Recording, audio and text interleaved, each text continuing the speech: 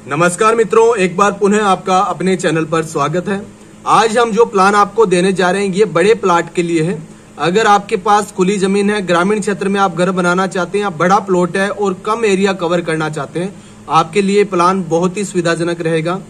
जैसा कि आप सभी को पता है, जब भी किसी नए घर का निर्माण होता है, उस घर का निर्माण वास्तु अनुरूप होना बहुत ज़्यादा ज़रूरी होता है।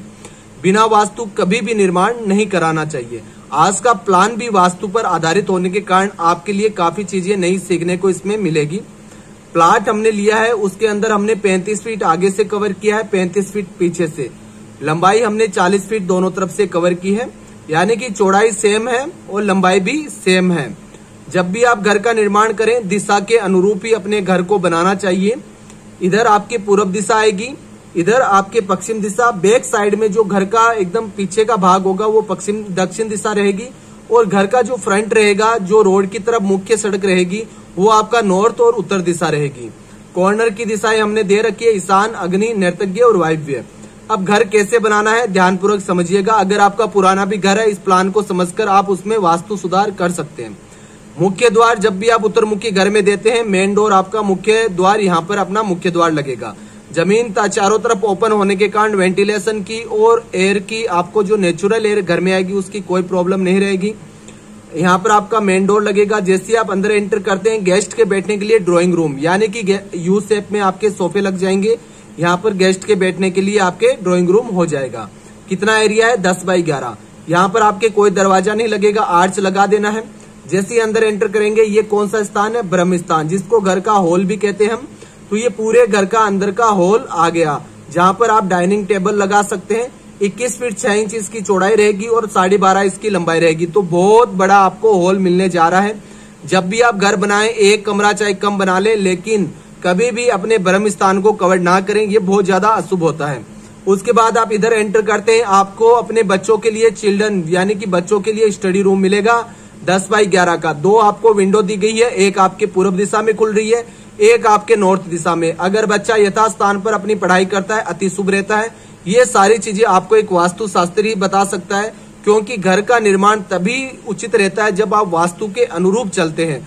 बिना वास्तु के अगर आप घर बना भी लेते हैं तो इन फ्यूचर आपके बच्चों को और आपको बहुत प्रॉब्लम्स लाइफ टाइम फेस करनी पड़ती है। तो ये आपके बच्चों का कमरा है। देखिए, हर चीज़ का अपना एक महत्व होता है।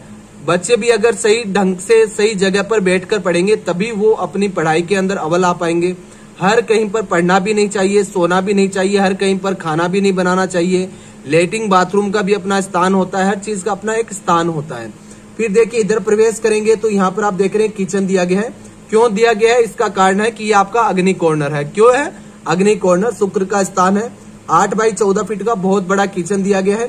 पीछे बैक साइड में विंडो और यहाँ पर दो विंडो दी गई है, बीच में आपकी चिमनी लग जाएगी।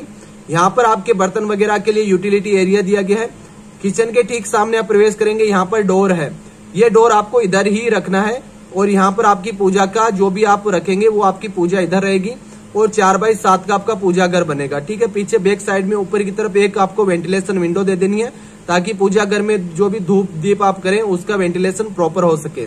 उसके बाद में आप सामने प्रवेश करेंगे, बारह बाई चौदह। बहुत बड़ा साइज़ रहता है, बारह बाई चौदह के बहुत बड़े अच्छे कमरे होते हैं। तो बहुत बड़ा अच्छा कमरा आपको मिल रहा है। बैक साइड में एक विंडो दी गई है। इस साइड में आप प्रवेश करेंगे तो यहाँ पर भी आपको बारह बाई चौदह का बहुत बड़ा मास्टर बेडरूम मिल रहा है।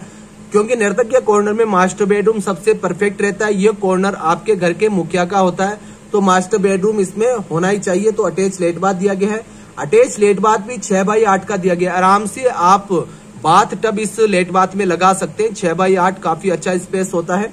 और एक एक विंडो इस रूम में दी गई, एक विंडो इसमें। तो एक पहला कमरा ये, दूसरा कमरा ये। तीसरा कमरा ये दिया गया है बच्चों के लिए और एक आपका ड्राइंग रूम चार आपके टोटल रूम साइज़ हो गए। और फिर आपका कॉमन जो लेटरिंग बाथरूम है वो यहाँ पर दिया गया है, छह बाई आठ का, ठीक है? और यहाँ पर ये आपका पीछे वेंटिलेशन विंडो दी गई है स्टेयर आपकी क्लोज वाइज रखी गई है और स्टेयर के लिए प्रॉपर हमने एक रूम दे दिया है और बीच में इसके लिफ्ट का एरिया दे दिया है ताकि आप ऊपर अगर फ़र्स्ट सेकंड थर्ड फ्लोर बनाए तो लिफ्ट का ऑप्शन आपको यथास्थान वास्तु अनुरूप दिया गया है। तो ग्राउंड फ्लोर का आपका चार कमरों का बहुत प्यारा सा प्लान दिया गया है और वास्तु का पूरा प्रॉपर ध्यान रखा गया जो भी रिक्वायरमेंट रहती है, सारी फुलफिल है।